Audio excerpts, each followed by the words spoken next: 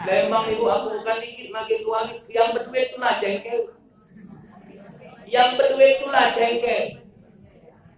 Yang berduit itulah ibu pojol. Tak kata perasaan nyingok dulu satu. Awal tu banyak. Rezeki banyak. Hidup lemak. Kita bagi waris. Dulu masih kena gencet. Nak lebih dulu lah. Nah, yo kalau dia tu buntu, mungkin waris ni subuh salah. Kita mesti berduit, kata buang toma. Ayo lah berduit, mesti waris. Kita salah memang buntunya. Tidak boleh walaupun kita berduit wajib diselesaikan. Itu adalah kewajiban. Kalau kita sudah ngomong, wong tidak galak ngalih kayaknya lepas.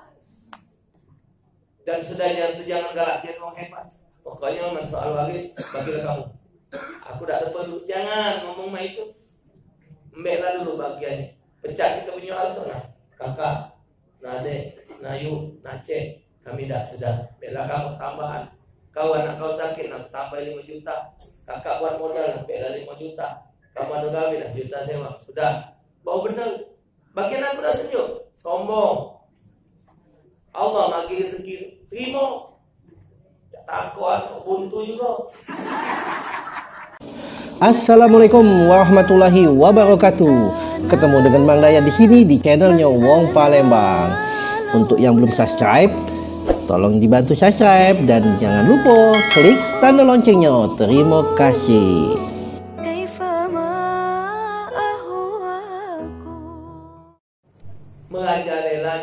Omar minum minuman keras sudah kati lagi sekarang genti nek sabu-sabu itu ngapok ke juga. Kedua perzinahan. Sudah LGBT LJ LGBT L-nya itu apa? Astagfirullahaladzim Tolol gila bunga tolol Tolol gila bunga tu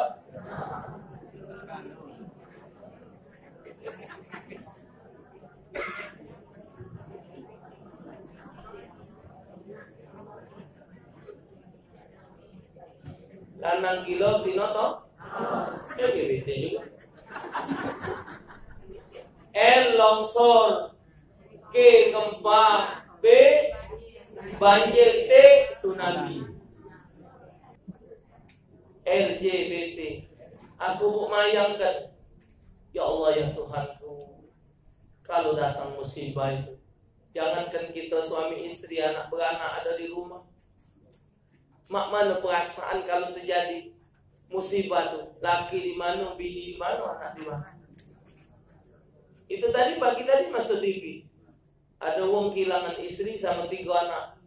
Tertimpun bukan rumah, masa di tanah. Suaminya waktu itu katik di rumah. Allah Akbar. Tak kodak lagi bu, nak minta ampun.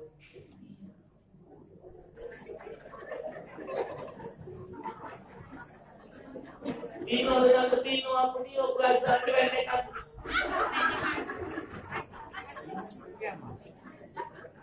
Kita ini dijadi kelanang betino wa ja'alnakum syu'uban wa qabaila lita'arafu.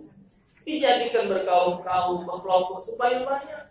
Allah Ta'ala tidak mungkin jadikan apa yang ada di badan yang kata gunung. Mata buat ngingok, kuping buat ngingok, lidah buat ngaso, gigi buat ngigit, mulut buat ngunyah, ngomong buat macau, tangan buat nyekel, sikil buat ngangkat, kemaluan buat apa? Masih ada guna. Maka itu kata Nabi, tidak ada yang tidak dapat jodoh. Walaupun di dunia tidak nikah, tetap akan nikah di akhirat. Kenapa? Karena dia akan mengetahui apa itu makna, apa yang diciptakan oleh Allah.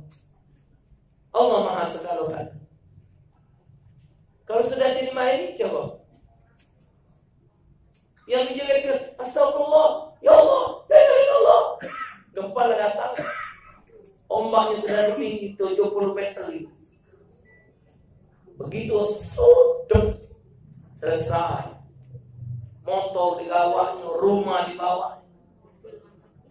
Kante saat itu nyegirkan Pancasila, NKRI. Kante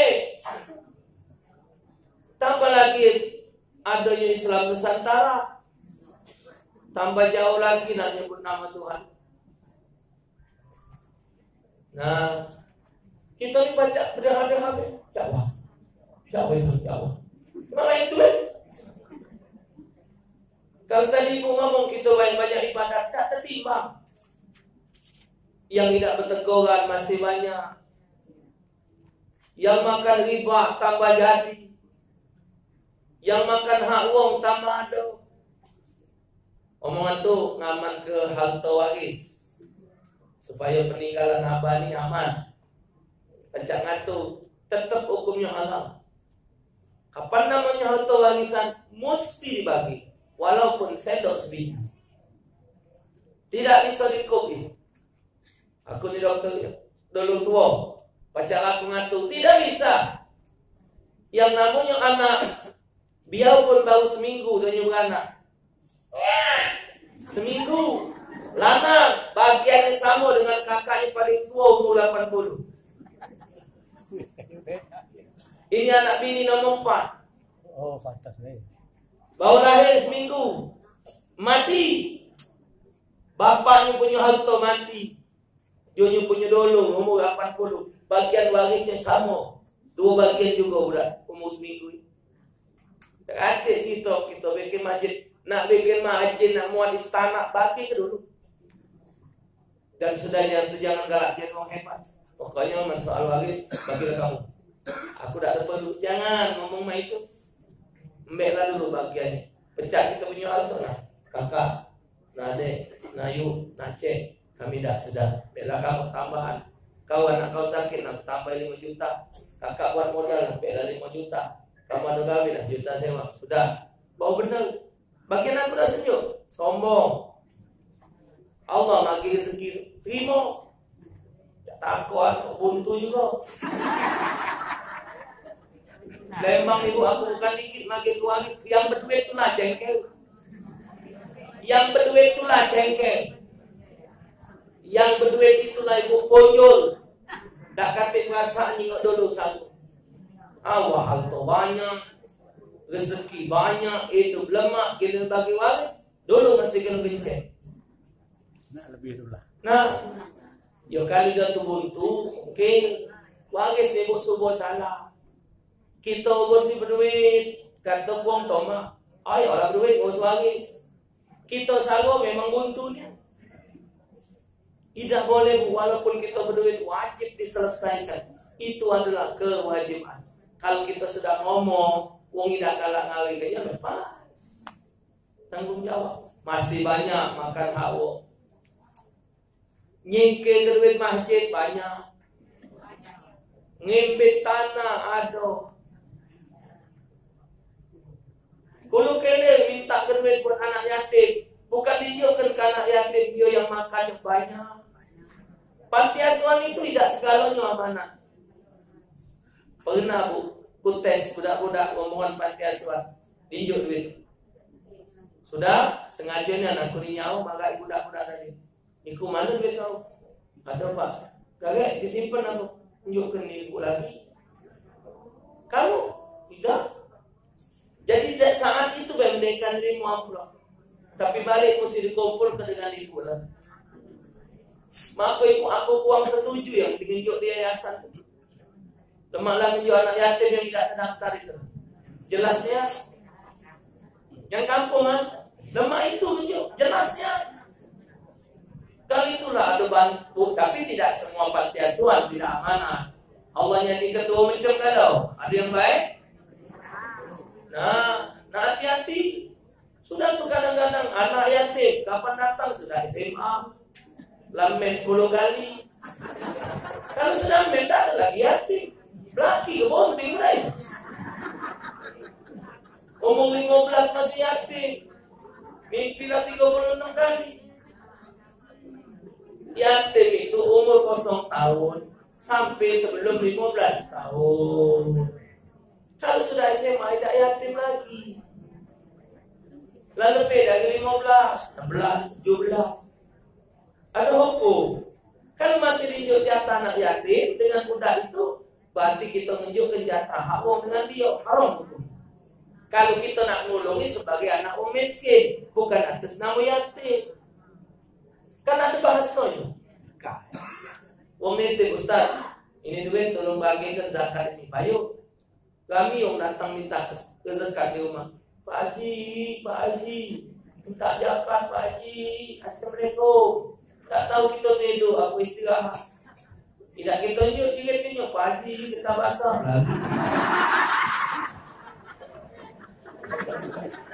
Iya.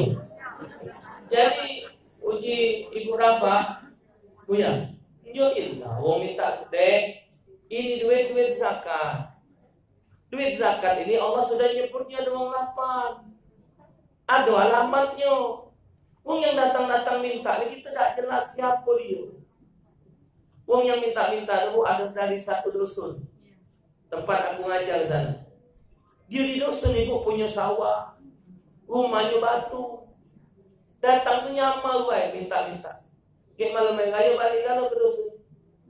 Yang terbeli emas setengah suku, terbeli emas sesuku. Tidak puasa. Jika tidak bukan soal nanda ngenjuk, ini titip aku. Duit zakat minta bagi ke kepada penerimanya. Kalau waya-waya nak sedekah, jadi duit lain, tidak boleh duit zakat. Salah artinya maksiat. Ya ibu tak terbayang bu, anak kan pernah mimpi dua kali. Dua kali lah. Jadi ceritanya bu, waktu itu dalam mimpi itu saya ini berjalan dengan istri sama anak yang besar karena belum ada tiga badai itu. Berjalan arah ke Ketopati. Ketopati sampai di Muara Jeramba 1510 itu. Ya Allah. Balak datang, mimpi tadi. Kereta api itu mak, wah, metu dari rel. Kereta api sepul itu. Ngacak, sut, metu. Tahu-tahu ditunggu ombak hitam dari sungai buaya. Digolongnya no, oleh ombak itu. Ah, tak tercekel tiga ekor tadi. Saat itu yang ada cuma Allah. Bini sudah hilang, anak sudah hilang. Bercekelan lepas. Ya Allah, jika aku mimpi. Mimpi seseru itu. Tak lama tu ada lagi orang bilang, Ustaz aku mimpi. Ngapa? Aku lagi ada di jembatan Ampera, datang ombak hitam dari sungai Susah. Ustaz, habis digolong oleh Ya Allah, jika alamat apa lagi? Kalau kita nyingok masian yang LGBT, yang segala pelembang. Ada galau sudah ibu. Mama nu lah nak ngadepnya. Nah, maka itu nak hati-hati, nak hati-hatinya ya Allah. Anak-anak betina berpendepan di rumah jingo. Bu, jangan kamu maksiat macam itu. Si kau beda solat serumah kena baju berdagang tak ada laris rezeki skill nah seret salo ya Allah nyok lombok belum habis lombok itu ibu. Maksiatnya di lombok itu Allah. Kalau Bali itu masih lemah bukan lemah mak. Malu Bali itu hidup memang wong kafirnya di Bali itu nengai cerita ada nggak tulis-tulis nah tekuku apa gitu yang tulis betina maham ngomong. Kita ngawak belinya. Ngurut ke desa malah bahkan ibu berhubungan badan di tengah api pun biasa di Bali di dekat-dekat batu pokoknya walaupun di Jinggo masih tegawi iyo Oman soal begira ada begiwa. Kapal-kapal dan mas'al. Hati-hatilah kamu dengan azab yang Allah turunkan akibat maksiatnya orang. Kalau azab itu turun, bukan hanya dia yang Allah azab. Tapi yang ada di sekitarnya pun kena atap dalam. Takutlah kamu kepada Allah. Ketahuilah oleh kalian semua. Sesungguhnya adab Allah sangat pedih. Wa anna Allah syadidul iqab. Allah tetap Allah. Ayah ibu gunung itu Gunung Krakatau itu ibu pecah pertama kali 1883 kalau tidak salah 1883 zaman Belanda. Terbelahnya Gunung Krakatau itu memisahkan Pulau Jawa dan Sumatera. Ya? Yeah? itu kan sejarah. Sekarang ini bukan pecah pulau ini baru gunung berapi yang yang ada di Sulawesi. Ini hari tengah hari tadi pecah Allah yang Allah tetap belasuknya Alat-alat mendeteksi alam gempa hancur. Madrasah habis, masjid roboh, rumah sakit terkenang banyak. Cuman kekuasaan Allah waktu terjadi gempa Palu tadi ada ibu-ibu nak melahirkan. Akhirnya dibawa ke rumah sakit umum, ternyata lahirnya kembang tiga. Dua lanang si Koptino. Tahu siapa nama apa gempa Udin? gempa mati? Hah? Allah ya Rabb. Ayo keinginan. Dekatinan kuasa manusia. Tidak bisa direka ya. Tidak baca, tidak baca. Oh sebesar itu ibu ombak. Kejimuannya. Oh, masih terbayang tengok video nong su sa habis yang hebat itu ibu yang kita takjub tadi kuasa Allah sekampung itu nah ditelan bumi. Teko gedok teko wongnya abun ambles ke bawah masuk ke bawah sana bukan dia nyelogo ke bawah melesat. Apa di kau? Nah, jelekung. Iya. Nah, jelekung. Nah, jika kami melesat. Ya, boy. Sebelum you grade follow itu jangan balik. Ya Allah bu, kata tolongan kita jadilah itu.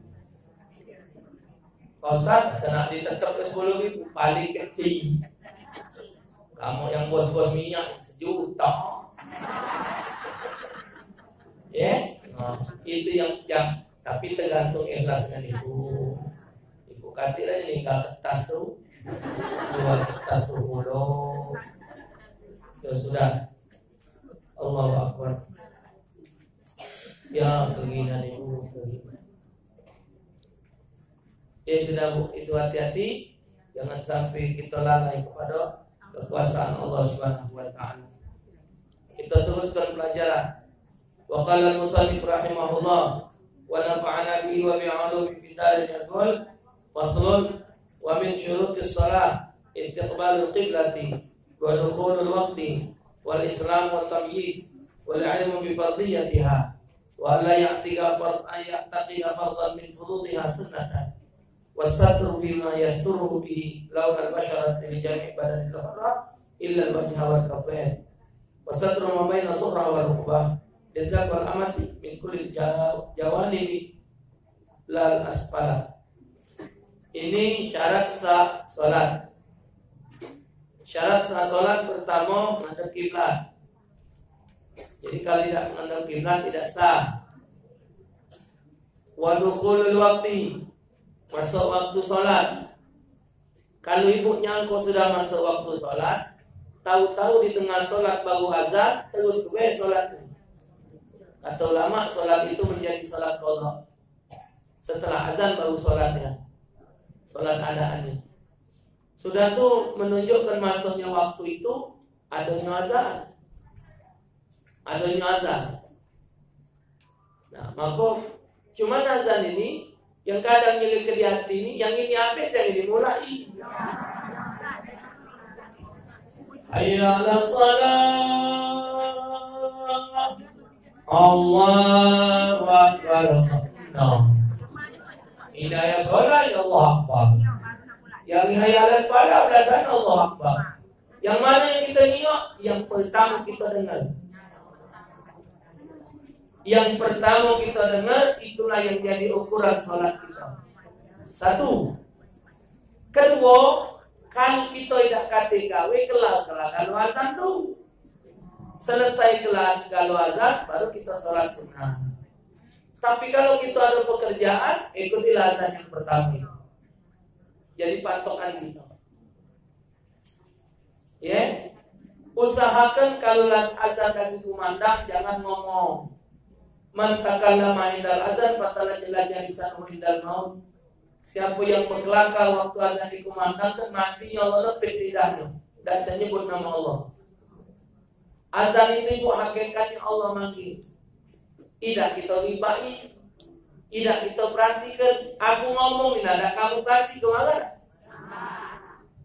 Kita ngomong, ngomongan bu. Kita yang ngomong, uang dia yang ngomong, ini lengos. Ah, ibu, singgung. Nah, Allah tuh bukan tersinggung.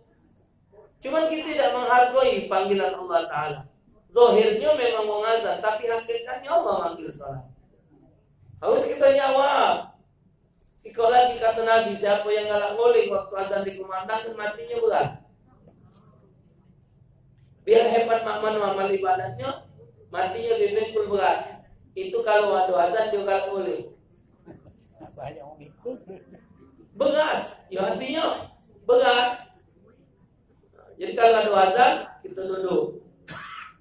Jangan kita mengenalnya sambil boleh. Nabi mengakibatkan beratnya badan kita waktu mati. Waktu maksudnya waktu. Wal Islamu Islam wa tamyizu tamyiz tidak nyebut balik. Jadi kalau budak itu Islam dan tamyiz, arti tamyiz itu budak itu sudah bisa membedakan mana yang kotor, mana yang bersih. Taruhlah tahu duit 500, tahu duit 1000. Tahu dimakan, tahu diminum. Tahu di najis, tahu tidak najis. Itu tamyiz sudah. Jadi kalau dia sholat sah, tapi dia belum wajib karena dia belum akil balik.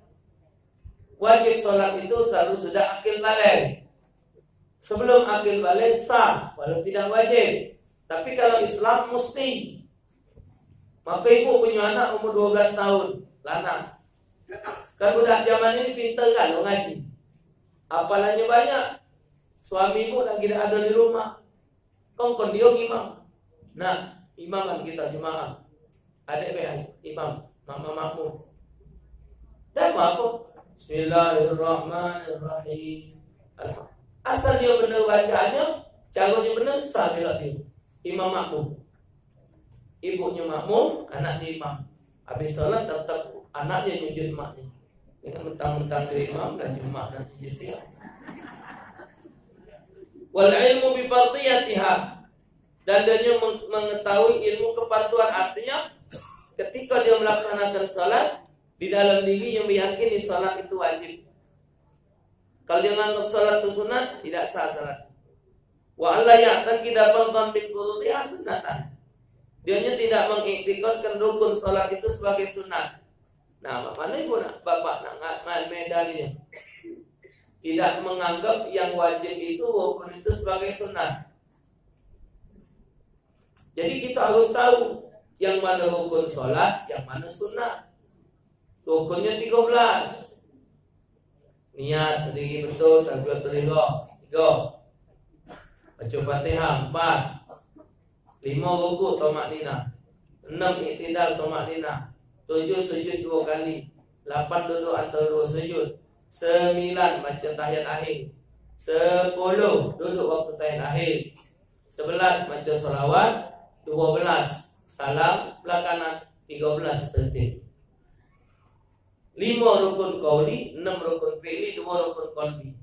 Rukun kauli rukun ucapan yang harus macamnya didengar kuping. Kalau dia macamnya tidak didengar kuping, dia lewat tidak sah solatnya. Pertama takbiratul ihram, kedua Fatihah, ketiga eh, tahiyat, keempat solawat, kelima salam. Tidak boleh solat suara mulutnya bergerak, suara tak keluar tidak sah.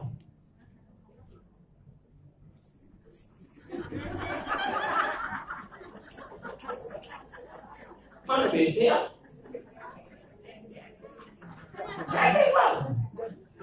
Bukan BC ya?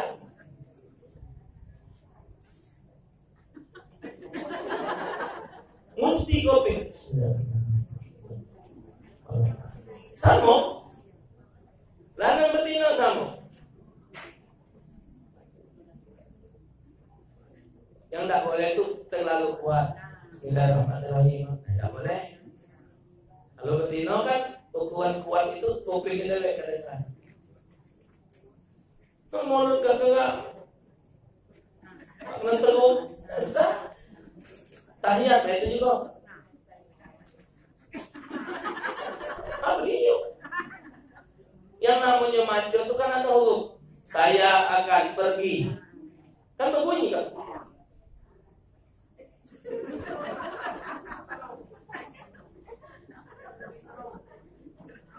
Iyo. Oh, aku pergi ke pasar beli bumbu nak masak pindang.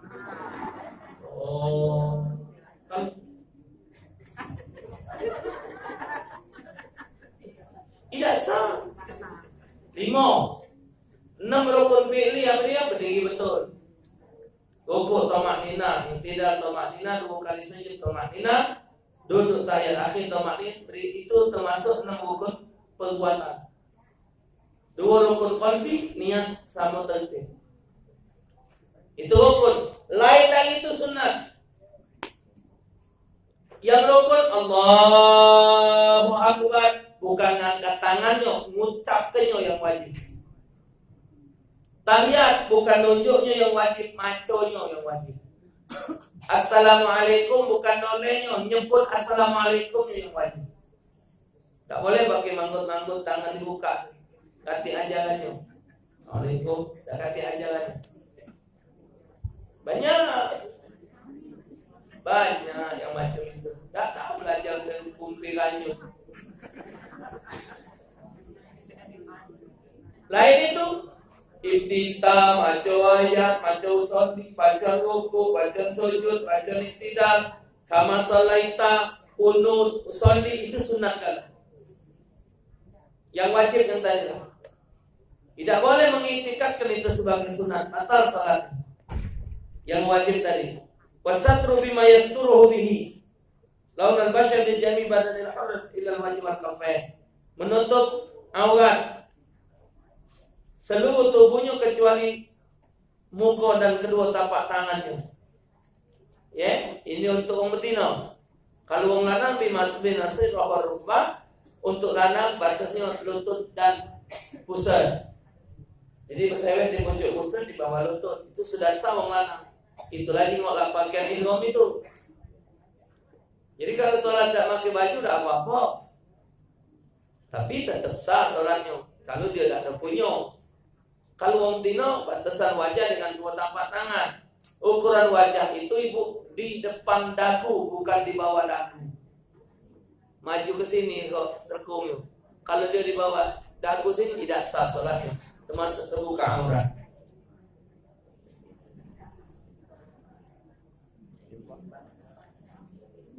Ilbab jilbab putih Datang kesucian